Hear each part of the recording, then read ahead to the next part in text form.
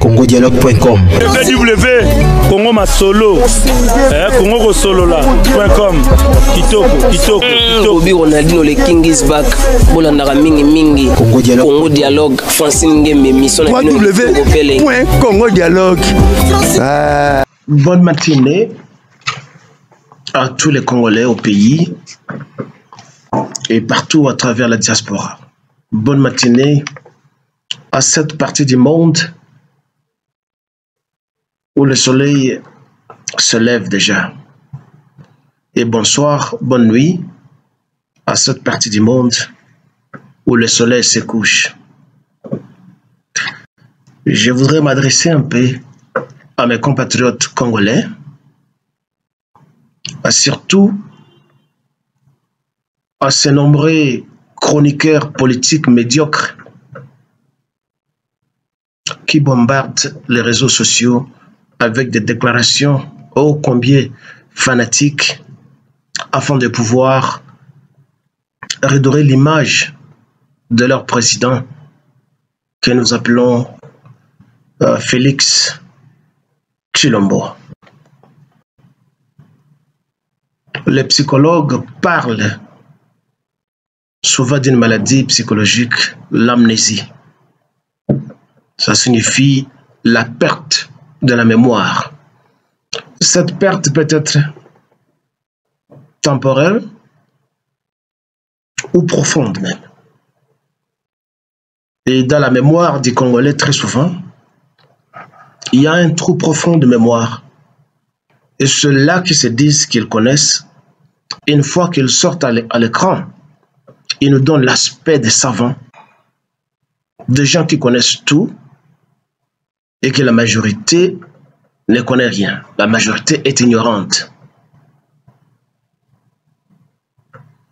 Je voudrais parler de quelques points qui se trouvent ici. J'ai entre mes mains, ici, euh, la constitution de la République démocratique du Congo, que les critiques aussi qualifient de la charte d'occupation. Mais dans cette constitution, il y a quelques articles qui sont très beaux et très bons. Ces articles sont dans cette constitution et au lieu qu'on les applique, on fait semblant de les ignorer. Et chaque fois quand quelqu'un vient au pouvoir, on abasourdit les oreilles de qui veulent l'entendre et le voir des notions de droit, de politique, d'économie et de je ne sais quoi. Dépendant de l'édition qui a publié ça, ici c'est l'édition de l'Inélite, parfois vous pouvez rencontrer cette constitution dans des grands volumes, ça c'est tellement petit. Je vais vous parler brièvement de la nationalité congolaise, je vais vous parler euh, de la souveraineté, je vais vous parler un peu euh, de la gratuité de l'enseignement.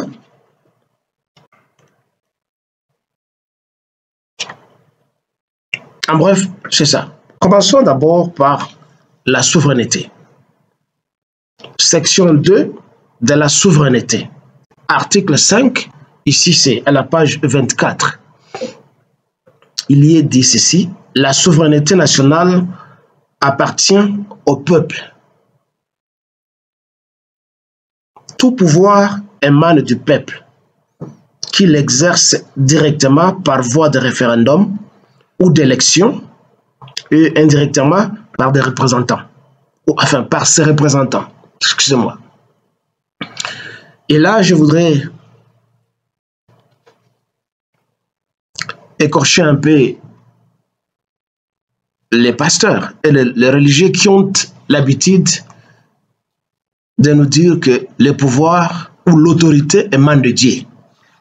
La Constitution, qui est notre Bible politique et humaine, dit que le pouvoir, enfin tout pouvoir émane du peuple et non pas de Dieu. Je ne sais pas qui est qui l'a dit. C'est la Constitution, la loi mère de chaque pays. Donc le pasteur et le reste cessent de mentir. Le pouvoir n'émane pas de Dieu. Ce n'est pas Dieu qui installe des dictateurs au monde dans nombreux pays pour faire souffrir leurs concitoyens. Si c'est ce Dieu qui donne cette autorité, alors il est un faux Dieu et il ne mérite pas de louanges ni des adorations. Je vous emmène au chapitre 2, intitulé De la nationalité. L'article 10, sous ce chapitre. Il est dit, la nationalité congolaise est une et exclusive. Elle ne peut être détenue concurremment avec aucune autre. Je saute un peu. Une phrase pour lire celle qui suit. Est congolais d'origine toute personne appartenant aux groupes ethniques dont les personnes et le territoire constituaient ce qu'il est devenu, enfin ce qui est devenu le Congo présentement, la République démocratique du Congo à l'indépendance. Et cela m'amène à, à un autre point sur la candidature à la présidence. C'est à la page 57 de cette édition. L'article 72. Nul ne peut être candidat à l'élection du président de la République s'il ne remplit les conditions ci-après. 1. Posséder la nationalité congolaise d'origine. 2. Être âgé de 30 ans au moins. 3. Jouir de la plénitude de ce droit civil et politique. Et 4. Ne pas se trouver dans un des cas d'exclusion prévus par la loi électorale. Je ne veux pas me mettre à interpréter ou à expliquer ces quatre points. Mais en lisant ces deux articles, je voudrais seulement m'adresser à ces chroniqueurs politiques, fanatiques, qui nous abasourdissent les oreilles aujourd'hui de ce qu'ils veulent appeler, ou ce qu'ils appellent déjà, la loi Noël Chané. Eh bien, il n'y a rien de nouveau dans ce que Noël Chané dit, bien que ce qu'il dit, nous le soutenons. Et il n'est pas le premier à le dire parce que tout est prévu dans la Constitution. La Constitution est claire. Alors, nous parler de la guerre entre Noël Chani et Moïse Katumbi, c'est de la distraction tout court. Parce que tout est prévu dans la Constitution. Et si Moïse Katumbi ambitionne de devenir candidat à la présidence ou être président, c'est parce qu'il sait qu'il n'y a pas un leadership honnête et patriotique. Il sait ça. S'il savait que la loi était pratiquée et le droit administré au Congo comme il est prévu dans des livres de droit, et je pense que euh, Moïse Katumbi et d'autres chauves-souris comme lui se retireraient dans leur coin et vivraient mieux avec ce qu'ils font. Le commerce, sans doute, ou autre chose. Mais c'est parce que Katumbi Seke, Félix et Noël Chani ne peuvent lui reprocher de rien. Ainsi, il se permet de faire ce qu'il fait.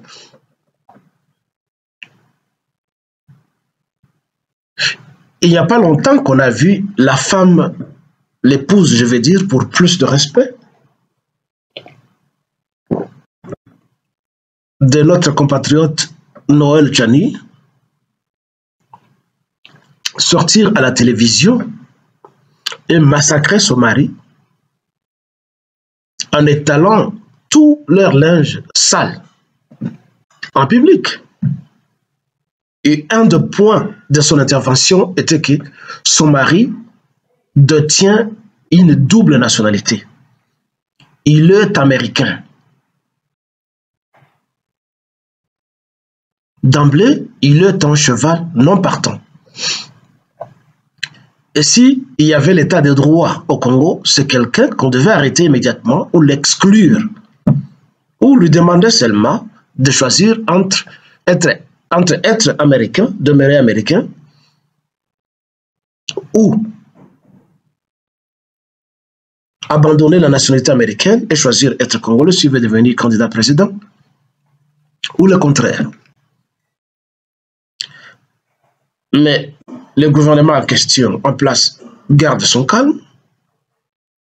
Et alors, les chroniqueurs de gauche, de droite, de devant et de derrière, tout le monde parle. La loi Chani, la loi Chani. Il n'y a pas de loi Chani. Il n'y en aura pas. Parce que cette loi est prévue dans la Constitution avant que Chani ne fût ou ne soit. Il n'y a rien de neuf. Et vous, le pauvre flatteur, commentateur et chroniqueur politique congolais, vous voulez gaspiller le temps de téléspectateurs et des Congolais. Il n'y a pas de loi Tchani parce que la Constitution est claire là-dessus. Les deux sont des chevaux non partants. Ils veulent imiter ce qui s'est passé avec Hippolyte Kajambele Kanambe, faussement appelé Joseph Kabila. Lui a été imposé par la communauté internationale comme étant un mercenaire au pouvoir. Moïse Katumbi devra être arrêté pour des crimes connus et qui sont répertoriés. Il n'a aucun sang congolais, c'est connu. Alors que, mon confrère euh, Noël Chani ne vienne pas distraire les gens. Qu'il fasse autre chose. C'est un économiste, c'est un financier, il peut créer des sociétés relatives à son domaine. Au lieu de passer le temps à bourdonner comme une abeille. La Constitution est claire là-dessus.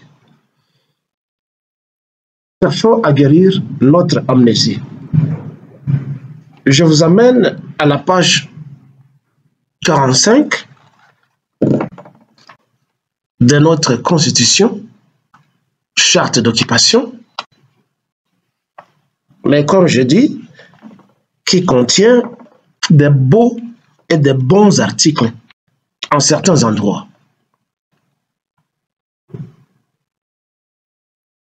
L'article 45 euh,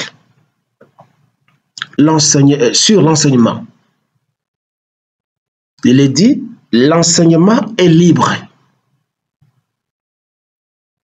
il est toutefois soumis à la surveillance de pouvoir public dans les conditions fixées par la loi. Cela signifie que, à part l'enseignement public, l'enseignement public autorise aussi l'enseignement privé. Les deux, public et privé, doivent être soumis à la surveillance du pouvoir public. Alors, à un certain moment, de sa prise du pouvoir, Félix et ses cigales qui chantent à chaque saison ont commencé à chanter la gratuité de l'enseignement. La gratuité, de l'enseignement. Vous voyez ce que Félix fait, la gratuité de l'enseignement. Mais ce n'est pas une idée nouvelle. L'article 45 de la Constitution prévoit la gratuité de l'enseignement. Donc, ce n'est pas une innovation de M. Félix Chilombo. Ce qui a manqué, c'est la praticabilité de ce qui a été prévu. Et c'est ce qui fait défaut dans nombreux États, dans nombreux gouvernements africains. On ne pratique pas ce qu'on prêche. On est tellement savant en parlant, en élaborant des lois, qu'on ne pratique pas. Donc, votre Félix, dont vous défendez l'image, vous êtes de très bons peintres, n'a rien apporté de nouveau au Congo, ni au monde, pendant ces trois années qu'il est au pouvoir. Tout a été prévu. Nous souffrons seulement de l'amnésie. Et à cela s'ajoutent les effets dormitifs qui sortent de nos bouches, surtout des politiques, des fanatiques, des flatteurs, des tribalistes,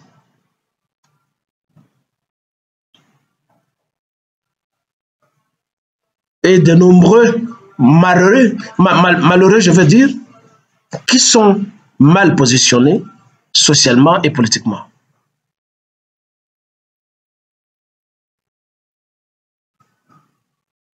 De l'état de droit. Je vous emmène à la page 104 de notre Constitution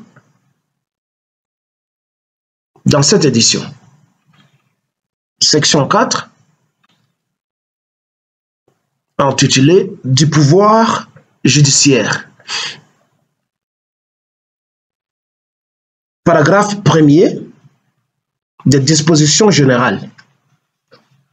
Et là, nous allons à l'article 149. Je lis. Le pouvoir judiciaire est indépendant du pouvoir législatif et du pouvoir exécutif. Je saute un paragraphe et je lis La justice est rendue sur l'ensemble du territoire national au nom du peuple, etc. Je ferme cette, ce petit manuel pour vous dire que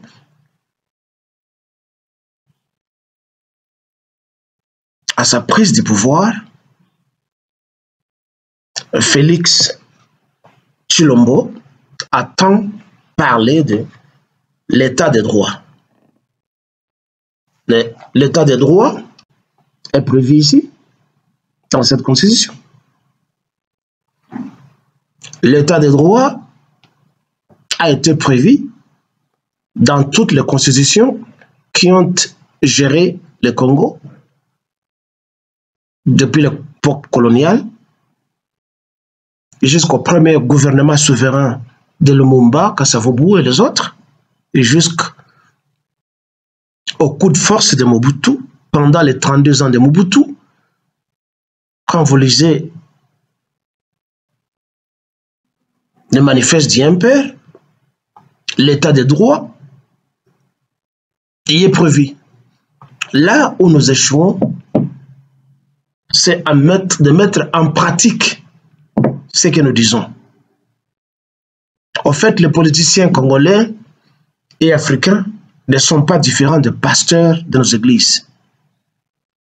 Les pasteurs de nos églises ne, prêchent, ne pratiquent pas ce qu'ils prêchent.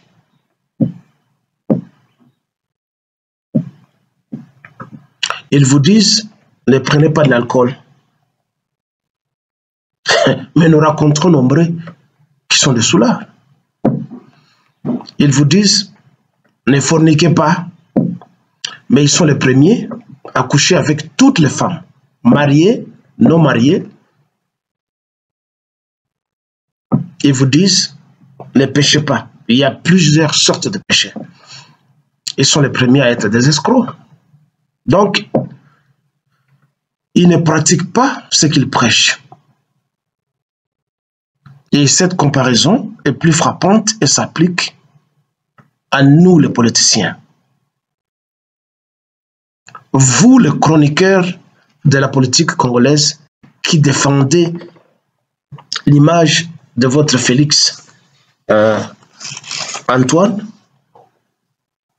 vous devez faire très attention de ne pas trop verser dans la flatterie où vous croyez qu'on va vous nommer à de tels tels postes parce que vous caressez les politiciens dans le vrai sens du poil.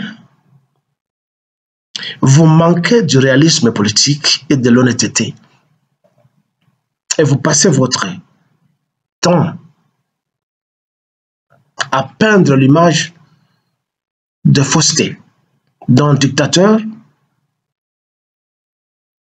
d'un violeur de la Constitution, d'un menteur, d'un ange de promesses qui ne tient jamais. Et vous voulez que les gens mordent à l'hameçon de vos mensonges. J'avertis encore les chroniqueurs et les blogueurs congolais sur leur manque d'éthique journalistique. Je ne suis pas un journaliste, je suis un patriote congolais qui intervient quand je le veux sur des faits et des phénomènes politiques, sociopolitiques chez nous. Il y a presque un an, nombreux chroniqueurs politiques congolais ont annoncé la mort du dictateur rwandais Paul Kagame. À cela s'est ajouté son compatriote résident au Congo, Ozarias Ruberwa. Tous les réseaux sociaux étaient secoués, inondés de ces annonces. Mais lors de ce sommet économique à Paris, tout le monde a vu M. Paul Kagame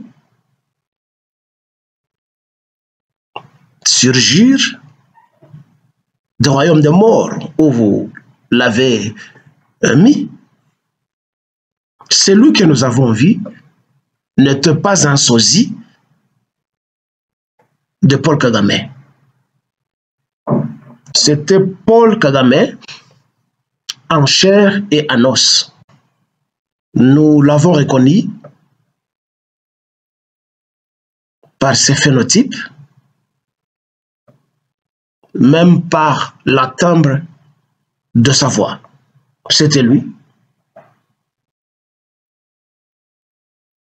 Ce n'était pas un sosie. C'était Paul Kagame lui-même en personne.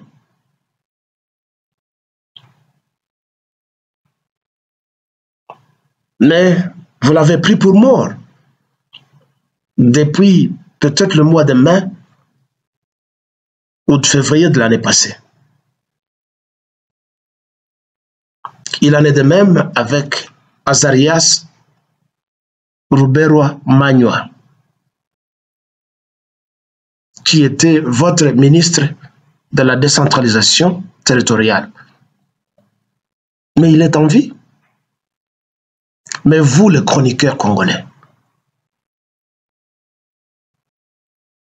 vous n'avez pas d'éthique, vous n'avez pas de morale pour continuer à mentir. Vous ne vous excusez pas auprès des téléspectateurs, des gens dont vous gaspillez le temps avec le mensonge? Mais avant de mettre une information, vous devez la vérifier. Je pense que ça fait partie des obligations d'un journaliste. Nombreux parmi vous se targuent du titre de journaliste d'investigation. On ne sait pas c'est dans quelle faculté, dans quelle université on se trouve hein, la faculté de journaliste d'investigation.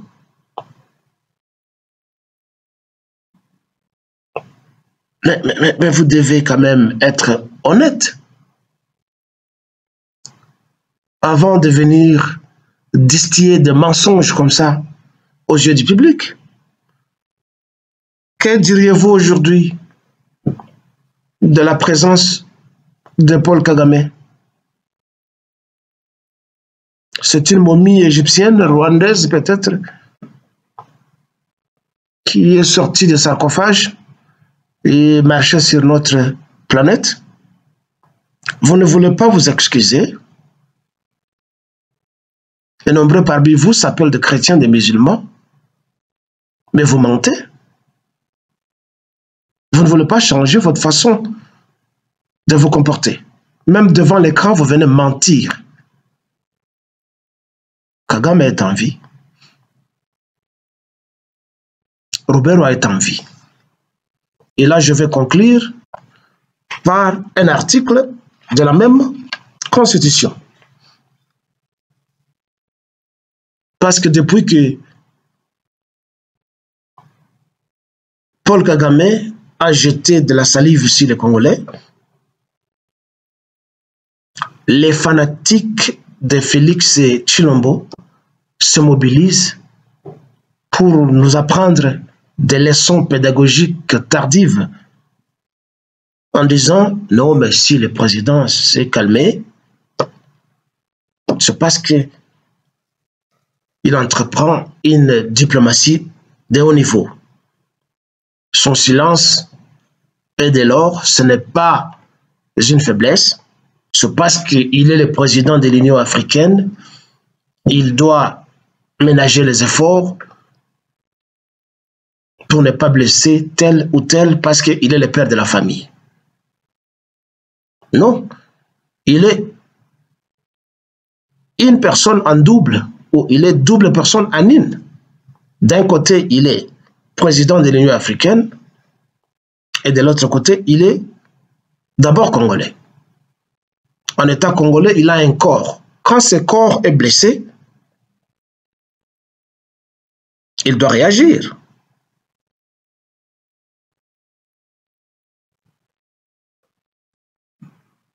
L'artiste congolais Kofi Olomide, dans une de ses chansons, avait dit Passe Yamuke Zalakate.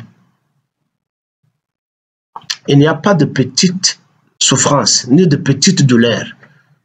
Une douleur, c'est une douleur.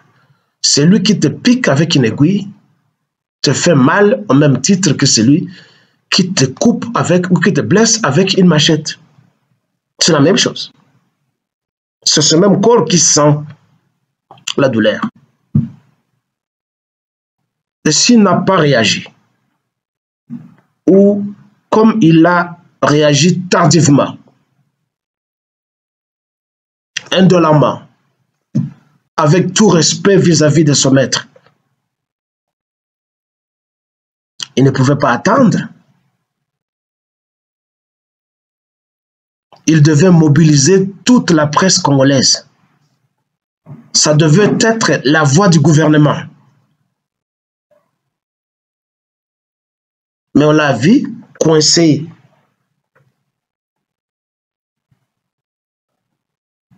sur un fauteuil, en train de chanter des mélodies langoureuses à son maître Paul Kagame. Ce n'est pas une diplomatie, ça le Congo est blessé. Il devait réagir. Lui que vous appelez le commandant suprême des armées, il ne l'est pas. L'article 64 de la Constitution dit ceci. Tout Congolais a le devoir de faire échec à tout individu ou groupe d'individus qui prend le pouvoir par la force ou qui l'exerce en violation des dispositions de la présente Constitution. L'aventure des Rwandais chez nous, c'est une prise de pouvoir d'une manière illégale. Bien que nous sachions que lui-même a pris le pouvoir d'une manière illégale, il incombe à nous les Congolais aussi d'appliquer ce même article 64,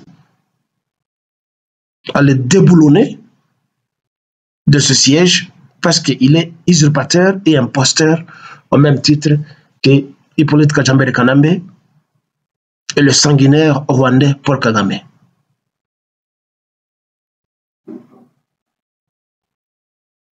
Monsieur Félix, en proclamant l'état de siège,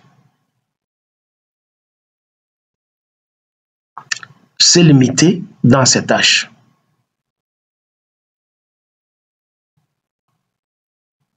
Ça, c'est un. De deux.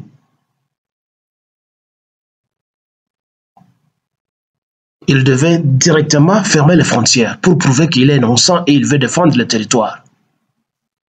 Et de trois, il devait proclamer la guerre.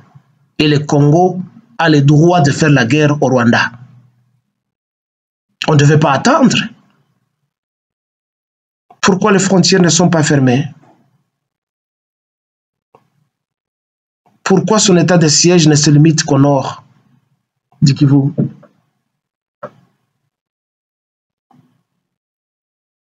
Pourquoi il doit continuer à appeler notre envahisseur son frère? Pourquoi il doit continuer à permettre l'ambassade du Rwanda, du Burundi ou les ambassades des pays agresseurs à œuvrer chez nous s'il n'est pas complice? Nous ne soutenons pas ce qui se fait en Israël présentement, mais la réaction du Premier ministre israélien, Netanyahu, peut être imitée comme étant l'exemple d'un leadership fort. Il n'y a pas un leadership fort au Congo, c'est un leadership boité, paralytique. Le Hamas largue des bombes sur Israël. La réaction ne s'est pas, pas fait attendre l'armée israélienne riposte jusqu'aujourd'hui. C'est ce que doit faire un président, c'est ce qu'on doit appeler un leadership responsable. Vous, les flatteurs, chroniqueurs de la politique congolaise, congolaise je veux dire, vous devez dire à votre président de cesser d'être très euh, folklorique. On n'a pas besoin de cette politique. On a besoin du pragmatisme.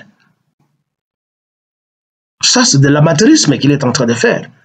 Ton corps est blessé et toi, tu te recroquevilles dans un fauteuil pour distiller un langage amadoueur, tenter de lamentation. C'est quel genre de président ça? C'est quel genre de politique ça? Et jusqu'où irons-nous avec cette politique de flatterie, de bassesse qui rabaisse le Congo et les Congolais au niveau de bête C'est de votre compatriote Vib. Djemadar et Vib Kilkilele c'est pour le Congo de Lumumba, de tous les Congolais et de tous les martyrs.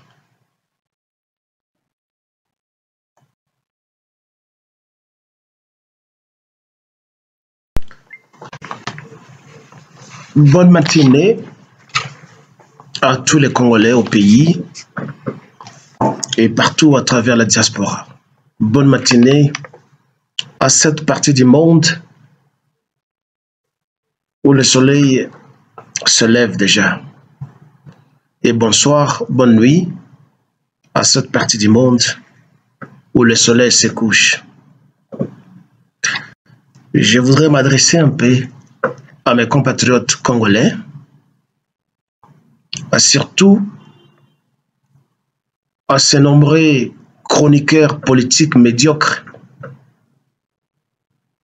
qui bombardent les réseaux sociaux avec des déclarations ô combien fanatiques afin de pouvoir redorer l'image de leur président que nous appelons euh, Félix Chilombo.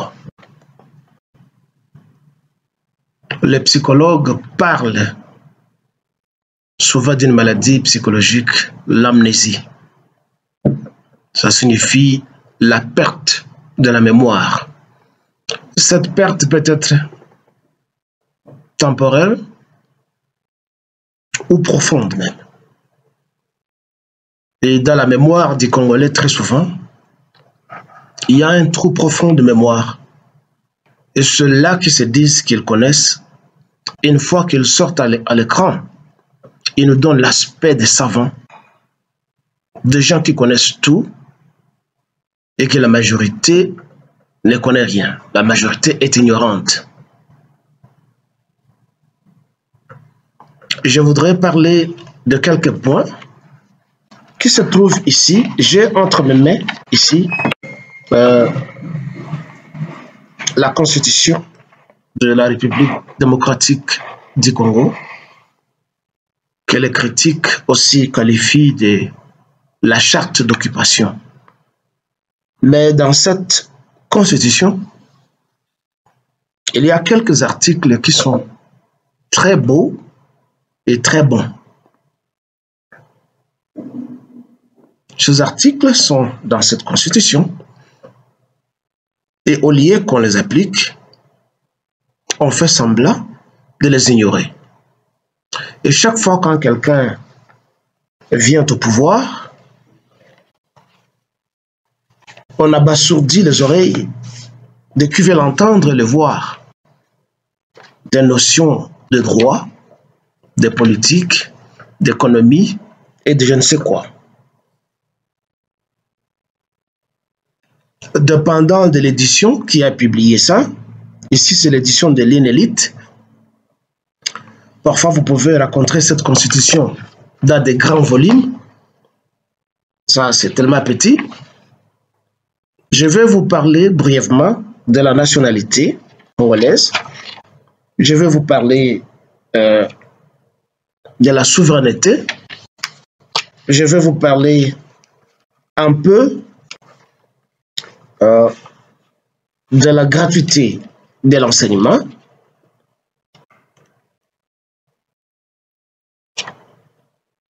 En bref, c'est ça. Commençons d'abord par la souveraineté. Section 2 de la souveraineté. Article 5, ici c'est à la page 24. Il y est dit ceci, la souveraineté nationale appartient au peuple Tout pouvoir émane du peuple, qui l'exerce directement par voie de référendum ou d'élection et indirectement par des représentants, ou enfin par ses représentants, excusez-moi. Et là, je voudrais écorcher un peu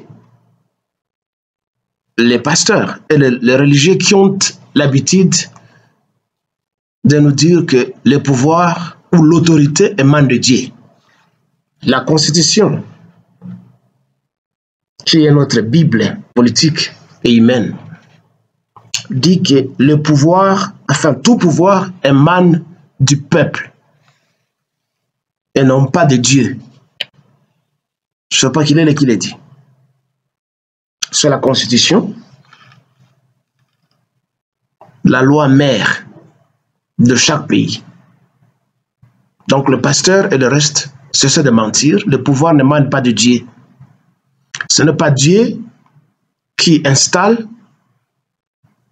des dictateurs au monde dans nombreux pays pour faire souffrir leurs concitoyens. Si c'est ce Dieu qui donne cette autorité, alors il est un faux Dieu et il ne mérite pas de louanges ni des adorations. Je vous emmène au chapitre 2, intitulé De la nationalité. L'article 10, sous ce chapitre. Il est dit, la nationalité congolaise est une et exclusive. Elle ne peut être détenue concurremment avec aucune autre. Je saute un peu. Une phrase pour lire celle qui suit. Est congolais d'origine toute personne appartenant aux groupes ethniques dont les personnes et le territoire constituaient enfin ce qui est devenu le Congo présentement, la République démocratique du Congo à l'indépendance. Et cela m'amène à, à un autre point sur la candidature à la présidence. C'est à la page 57 de cette édition. L'article 72. Nul ne peut être candidat à l'élection du président de la République s'il ne remplit les conditions ci-après. 1.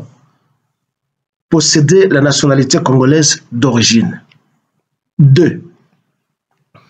Être âgé de 30 ans au moins. 3. Jouir de la plénitude de ce droit civil et politique. Et 4. Ne pas se trouver dans un des cas d'exclusion prévus par la loi électorale. Je ne veux pas me mettre à interpréter ou à expliquer ces quatre points.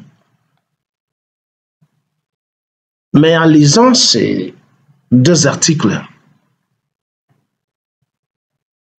je voudrais seulement m'adresser à ces chroniqueurs politiques, fanatiques, qui nous abasourdissent les oreilles aujourd'hui de ce qu'ils veulent appeler, ou ce qu'ils appellent déjà, la loi Noël Chané. Eh bien, il n'y a rien de nouveau dans ce que Noël Chané dit, bien que ce qu'il dit, nous le soutenons. Et il n'est pas le premier à le dire parce que tout est prévu dans la Constitution. La Constitution est claire. Alors, nous parler de la guerre entre Noël Chani et Moïse Katumbi, c'est de la distraction tout court. Parce que tout est prévu dans la Constitution. Et si Moïse Katumbi ambitionne de devenir candidat à la présidence ou être président, c'est parce qu'il sait qu'il n'y a pas un leadership honnête et patriotique. Il sait ça. S'il savait que la loi était pratiquée et le droit administré au Congo comme il est prévu dans des livres de droit, et je pense que euh, Moïse Katumbi et d'autres chauves-souris comme lui se retireraient dans leur coin et vivraient mieux avec ce qu'ils font. Le commerce, sans doute, ou autre chose. Mais c'est parce que Katumbi que Félix et Noël Chani ne peuvent lui reprocher de rien. Ainsi, il se permet de faire ce qu'il fait.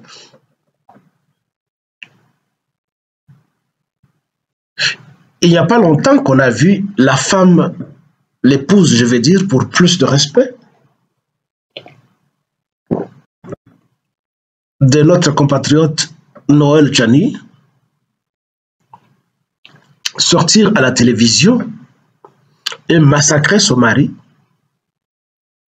en étalant tout leur linge sale en public. Et un des points de son intervention était que son mari détient une double nationalité. Il est américain. D'emblée, il est un cheval non partant.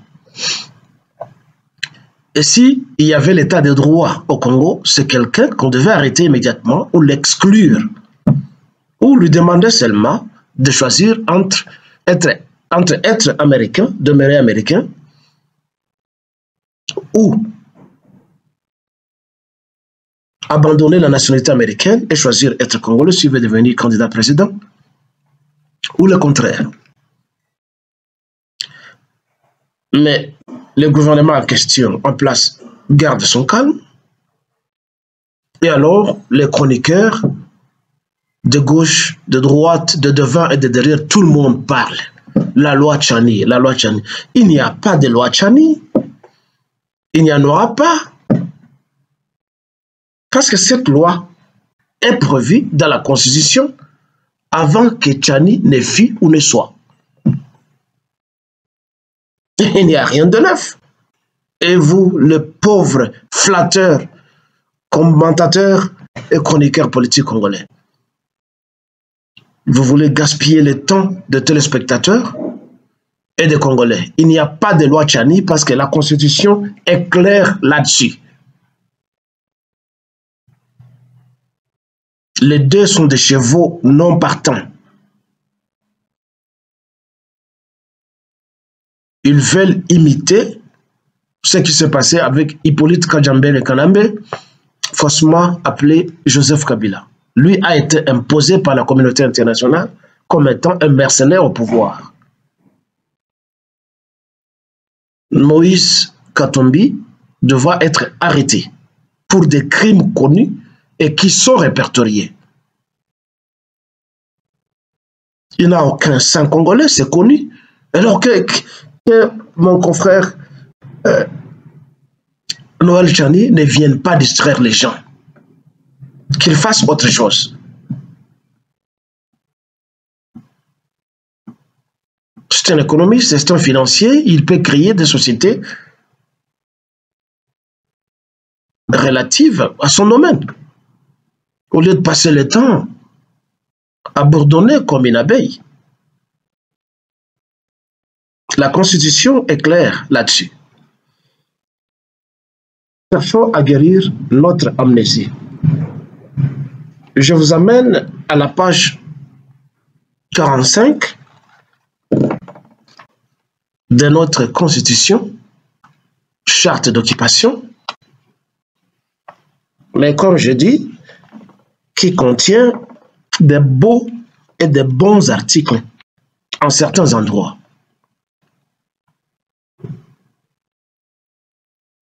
L'article 45 euh, sur l'enseignement. Il est dit, l'enseignement est libre. Il est toutefois soumis à la surveillance de pouvoir public dans les conditions fixées par la loi. Cela signifie que, à part l'enseignement public, l'enseignement public autorise aussi l'enseignement privé. Les deux, public et privé, doivent être soumis à la surveillance du pouvoir public. Alors, à un certain moment de sa prise du pouvoir, Félix et ses cigales qui chantent à chaque saison ont commencé à chanter la gratuité de l'enseignement. La gratuité, la gratuité de l'enseignement. Vous voyez ce que Félix fait. La gratuité de l'enseignement. Mais ce n'est pas une idée nouvelle. L'article 45 de la Constitution prévoit la gratuité de l'enseignement. Donc, ce n'est pas une innovation de M. Félix Chilombo. Ce qui a manqué, c'est la praticabilité de ce qui a été prévu. Et c'est ce qui fait défaut dans nombreux États, dans nombreux gouvernements africains. On ne pratique pas ce qu'on prêche. On est tellement savant en parlant, en élaborant des lois, qu'on ne pratique pas. Donc, votre Félix, dont vous défendez l'image, vous êtes de très bons peintres, n'a rien apporté de nouveau au Congo, ni au monde, pendant ces trois années qu'il est au pouvoir. Tout a été prévu. Nous souffrons seulement de l'amnésie. Et à cela s'ajoutent les effets dormitifs qui sortent de nos bouches, surtout des politiques, des fanatiques, des flatteurs, des tribalistes,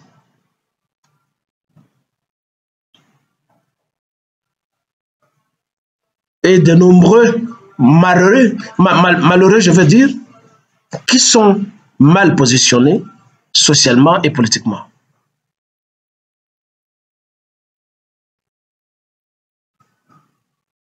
De l'état de droit, je vous emmène à la page 104 de notre Constitution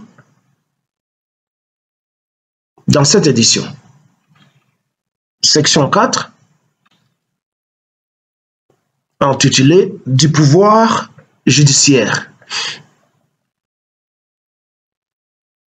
Paragraphe 1er des dispositions générales. Et là, nous allons à l'article 149. Je lis.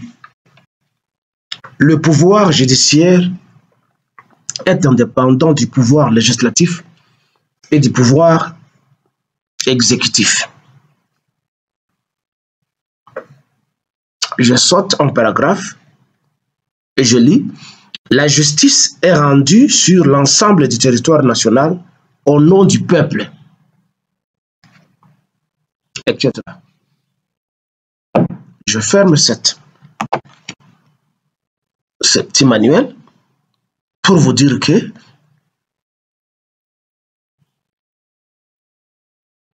à sa prise du pouvoir, Félix Chilombo a tant parlé de l'état des droits.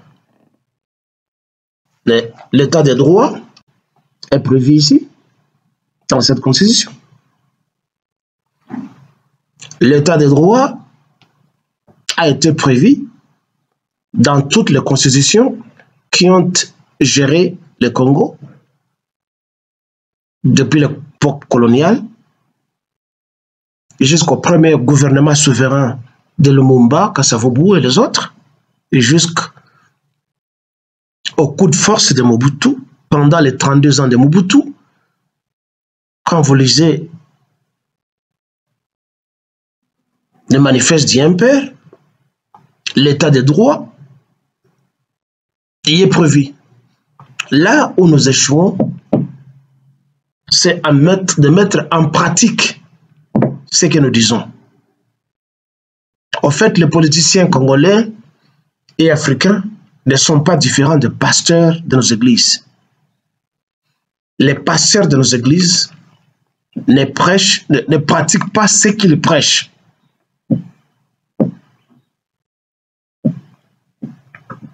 Ils vous disent, ne prenez pas de l'alcool. Mais nous racontons nombreux qui sont des soulards. Ils vous disent, ne forniquez pas, mais ils sont les premiers à coucher avec toutes les femmes, mariées, non mariées. Ils vous disent, ne péchez pas. Il y a plusieurs sortes de péchés. Ils sont les premiers à être des escrocs. Donc, ils ne pratiquent pas ce qu'ils prêchent. Et cette comparaison est plus frappante et s'applique à nous les politiciens. Vous, les chroniqueurs de la politique congolaise, qui défendez l'image de votre Félix euh, Antoine, vous devez faire très attention de ne pas trop verser dans la flatterie où vous croyez qu'on va vous nommer à de tels tels postes parce que vous caressez les politiciens dans le vrai sens du poil? Vous manquez du réalisme politique et de l'honnêteté. Et vous passez votre temps à peindre l'image de fausseté d'un dictateur, d'un violeur de la Constitution, d'un menteur, d'un ange de promesses qui ne tient jamais. Et vous voulez que les gens mordent à l'hameçon de vos mensonges. J'avertis encore les chroniqueurs et les blogueurs congolais sur leur manque d'éthique journalistique. Je ne suis pas un journaliste, je suis un patriote congolais qui intervient quand je le veux sur des faits et des phénomènes politiques, sociopolitiques chez nous. Il y a presque un an, nombreux chroniqueurs politiques congolais ont annoncé la mort du dictateur rwandais Paul Kagame. À cela s'est ajouté son compatriote résident au Congo, Azarias Ruberwa. Tous les réseaux sociaux étaient secoués, inondés de ces annonces. Mais lors de ce sommet économique à Paris, tout le monde a vu M. Paul Kagame surgir du royaume des morts où vous l'avez mis. Celui que nous avons vu n'était pas un sosie de Paul Kagame. C'était Paul Kagame en chair et en os. Nous l'avons reconnu par ses phénotypes, même par la timbre de sa voix. C'était lui. Ce n'était pas un sosie. C'était Paul Kagame lui-même en personne.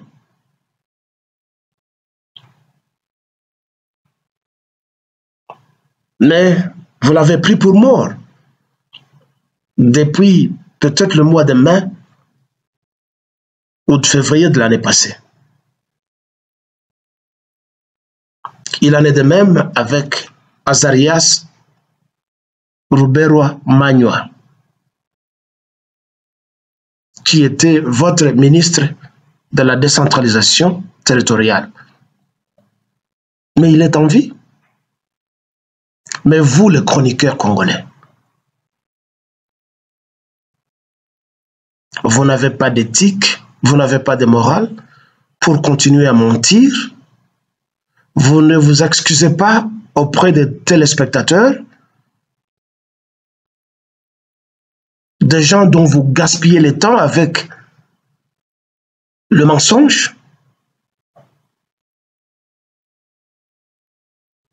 Mais avant de mettre une information, vous devez la vérifier.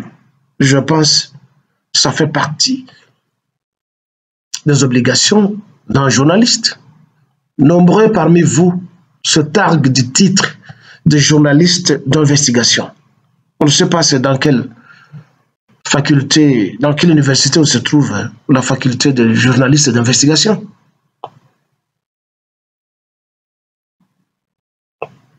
Mais, mais, mais, vous devez quand même être honnête avant de venir distiller des mensonges comme ça aux yeux du public. Que diriez-vous aujourd'hui de la présence de Paul Kagame C'est une momie égyptienne, rwandaise peut-être, qui est sortie de sarcophage et marchait sur notre planète. Vous ne voulez pas vous excuser et nombreux parmi vous s'appellent des chrétiens, des musulmans, mais vous mentez. Vous ne voulez pas changer votre façon de vous comporter. Même devant l'écran, vous venez mentir. Kagame est en vie. Robert est en vie. Et là, je vais conclure par un article de la même constitution. Parce que depuis que Paul Kagame a jeté de la salive sur les Congolais, les fanatiques de Félix Chilombo se mobilisent pour nous apprendre des leçons pédagogiques tardives en disant non mais si le président s'est calmé, c'est parce que il entreprend une diplomatie de haut niveau. Son silence est dès lors, ce n'est pas une faiblesse, c'est parce qu'il est le président de l'Union africaine, il doit ménager les efforts pour ne pas blesser tel ou tel parce qu'il est le père de la famille. Non, il est une personne en double il est double personne en une. D'un côté, il est président de l'Union africaine et de l'autre côté, il est d'abord congolais. En état congolais, il a un corps. Quand ce corps est blessé, il doit réagir.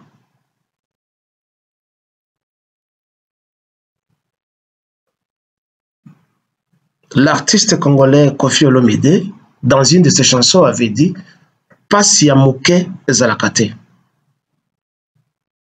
il n'y a pas de petite souffrance ni de petite douleur une douleur c'est une douleur celui qui te pique avec une aiguille te fait mal au même titre que celui qui te coupe avec ou qui te blesse avec une machette. C'est la même chose. C'est ce même corps qui sent la douleur. Et s'il n'a pas réagi ou comme il a réagi tardivement, indolemment, avec tout respect vis-à-vis de son maître. Il ne pouvait pas attendre. Il devait mobiliser toute la presse congolaise. Ça devait être la voix du gouvernement. Mais on l'a vu coincé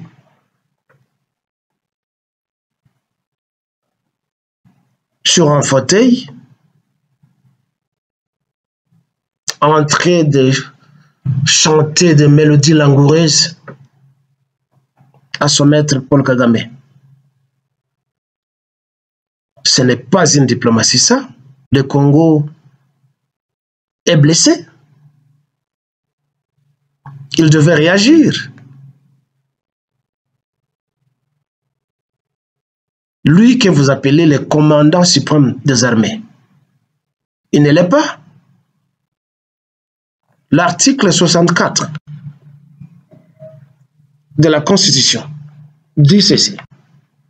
Tout Congolais a le devoir de faire échec à tout individu ou groupe d'individus qui prend le pouvoir par la force ou qui l'exerce en violation des dispositions de la présente Constitution. L'aventure des Rwandais chez nous, c'est une prise de pouvoir d'une manière illégale. Bien que nous sachions que lui-même a pris le pouvoir d'une manière illégale, il incombe à nous les Congolais aussi d'appliquer ce même article 64, à le déboulonner de ce siège parce qu'il est usurpateur et imposteur au même titre que Hippolyte Kajambe de Kanambe et le sanguinaire rwandais Paul Kagame.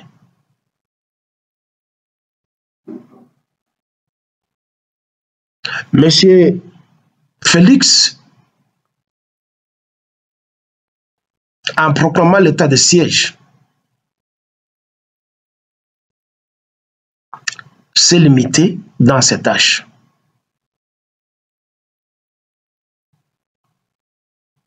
Ça, c'est un. De deux.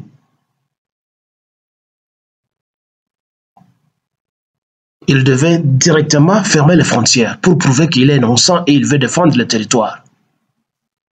Et de trois, il devait proclamer la guerre. Et le Congo a le droit de faire la guerre au Rwanda. On ne devait pas attendre. Pourquoi les frontières ne sont pas fermées? Pourquoi son état de siège ne se limite qu'au nord? Du Kivu